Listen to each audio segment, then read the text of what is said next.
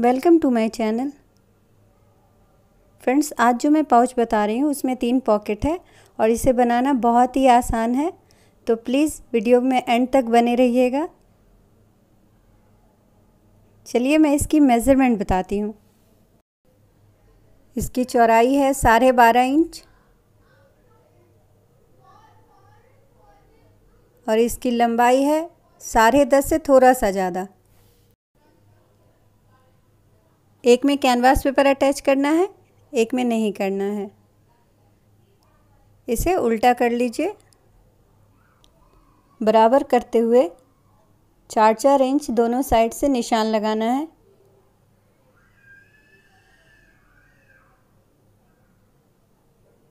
तो उसके बाद फोल्ड करके देख लेना है इक्वल है कि नहीं।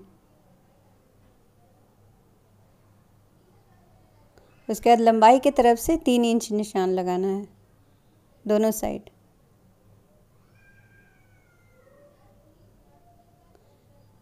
इसे आपस में मिला दीजिए।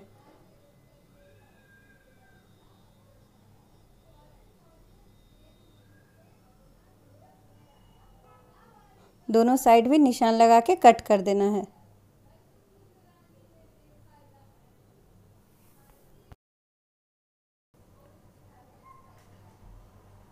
दोनों साइड कट करने के बाद इसे बराबर फोल्ड करते हुए ऊपर से हल्का सा कर्व कर देना है।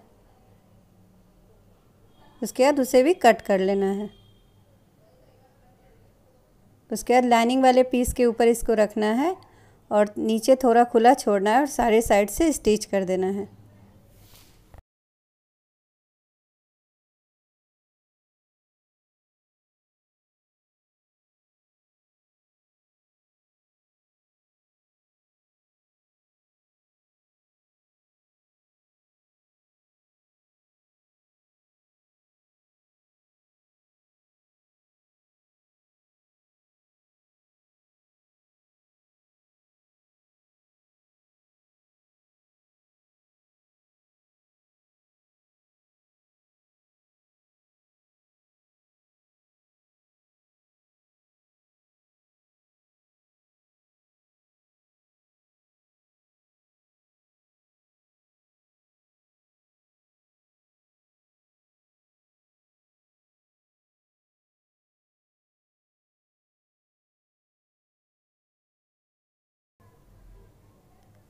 स्टिच करने के बाद लाइनिंग वाले फैब्रिक को भी कट कर देना है।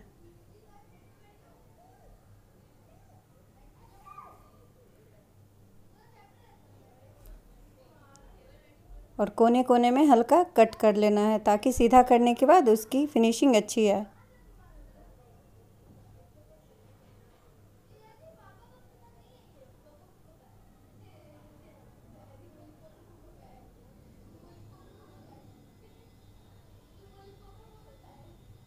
अब इसे सीधा कर लेना है। सीधा करने के बाद सारे में टॉप स्टिच करना है।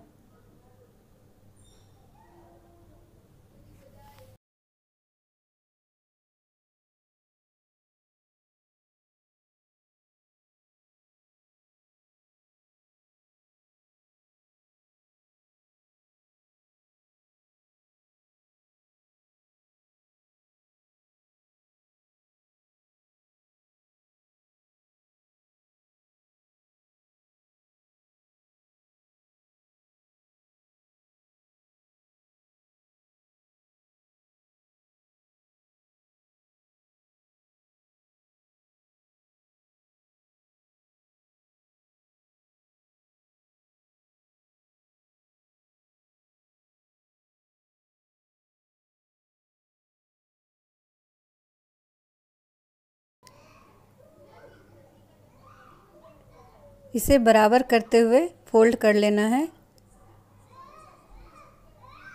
और पिन लगा लेना है। पिन लगाने के बाद इस तरह पकड़ते हुए दोनों साइड एक निशान लगाना है और निशान के ऊपर एक सिलाई लगानी है।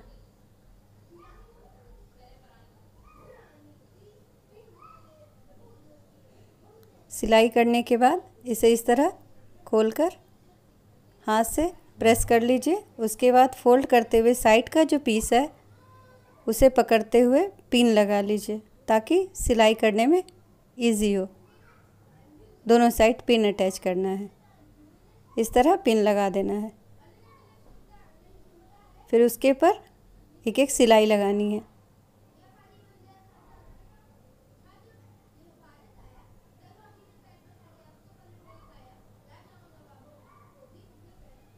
दोनों साइड।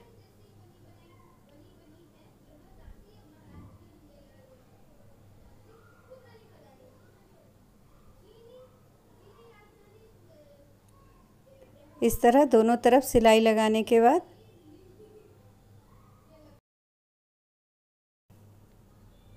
इसमें नीचे से एक सिलाई लगानी है।